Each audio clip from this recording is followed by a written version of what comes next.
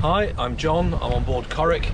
Uh, we were going to put together a little bit of an episode about reefing, and we did that the other day when it was the right weather for reefing. But the footage was a bit mangled because it was just a bit too breezy, and, and the, the bouncing around didn't help. So I'm going to do this in slightly more benign conditions. So there's a reasonably light breeze, but we're going to put the reef in. Let me show you how this goes. I hope you enjoy the video.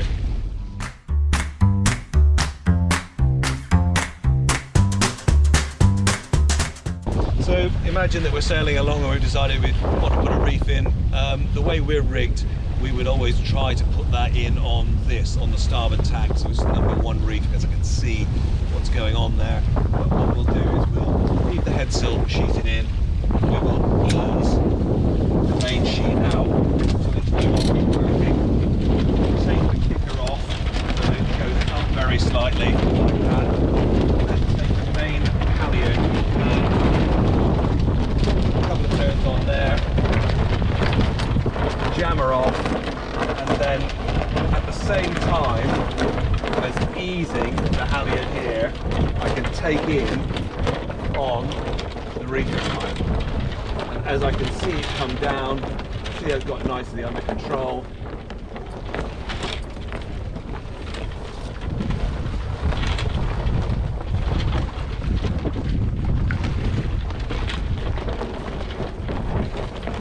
That's the reef line all the way down. Put The jammer back onto the main halyard, into the drum.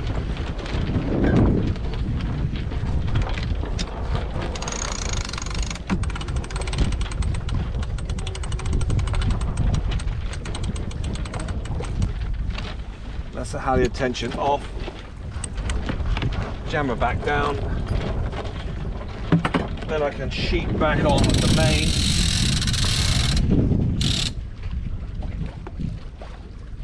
Kicker on. And we are sailing. The only thing we've got is a little bit of the second reef hanging around. If, if we're likely to put that second reef in, we just take that line down to get it out of the way. And we're one reef in. It really is nice and simple. Well, if you can imagine, it's a couple of hours later and the wind has continued to increase, but we're on the other tack, and I would put the second reef in on the port tack uh, for reasons that are, should be pretty obvious as we go. Um, so it is an exact replay of putting in the first reef, but doing it on the second tack. It, it'll go in on both tacks, but it's better to be able to see it. So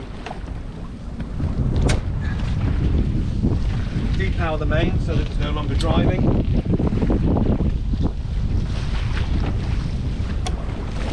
Release the kicker. And now we're into being able to ease the main down again. So few turns on, jammer on, off rather. And we're now pulling in on the red reefing line there as I lower the main, bringing it all down under control.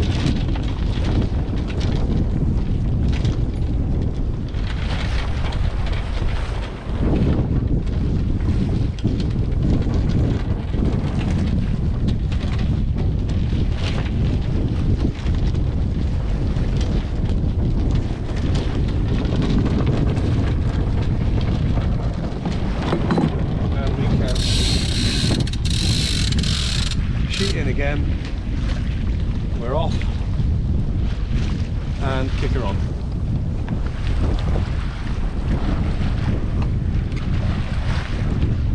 And that is our second reef in. What you'll notice, however, is the third reef is a different kettle of fish. We don't have the third reef rigged all the time.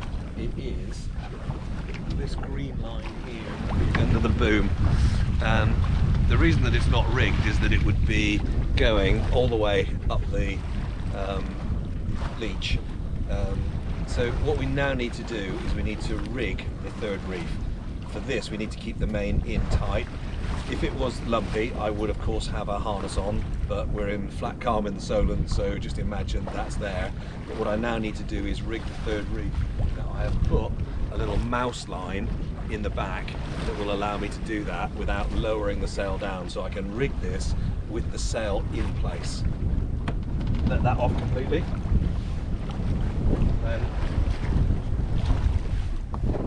So while I'm clambering all over the deck here, it's probably worth saying that this uh, routine for rigging the third reef using the mousing line uh, is a best case situation. In the worst case situation, what we would do is lower the main um, and tie it down as well as triangulating the boom so that it didn't move such that we could then rig the uh, reef line itself and um, get the reefing eye onto the staghorn at the gooseneck end. It's probably also worth saying I've never had to do this. I've always had boats that have had a um, trysail. So I've tried it out a couple of times and it seems to work well. Um, so I'm optimistic about it.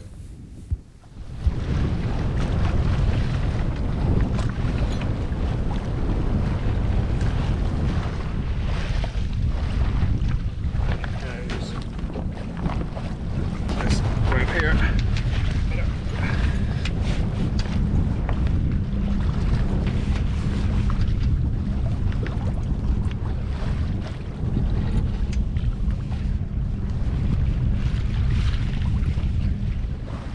So now we're into reefing again.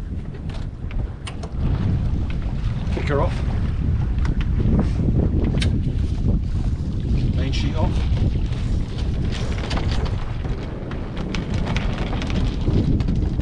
And I have the green leaf briefing line. Now, there is a difference here in that the eye is at the mast. So what I now need to do, lower this down.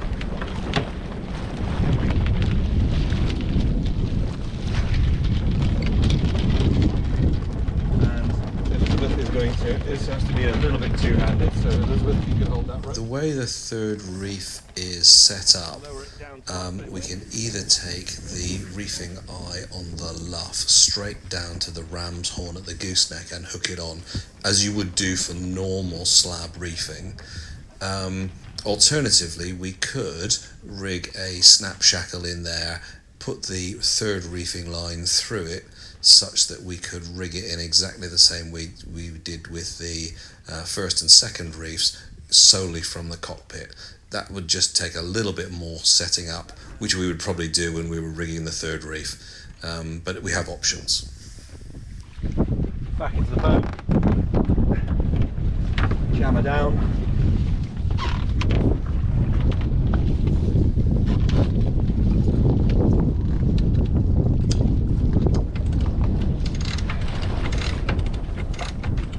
Enough weight to make sure it doesn't come out. And then I can pull in on the green reefing line.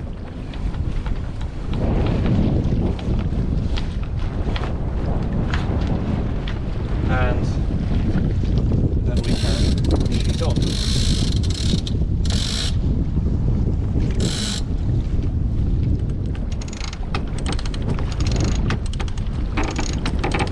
It- It's fair to say when you're doing this for real, you're probably setting up for a reasonably long time, I, I, and, and you would probably have to put it in at sea. Going out with that storm sail up, I don't think I'd really be doing, not unless there was an extreme situation. Um, and then once you're in, you need to get it sorted out and tidied up. I may remove the, um, the stack pack in order to keep that out of the way. I might put another reefing line or a, a, an earring round just in case it slips. But that should be solid in very severe winds. Taking it out is just the reverse. I hope you enjoyed this video.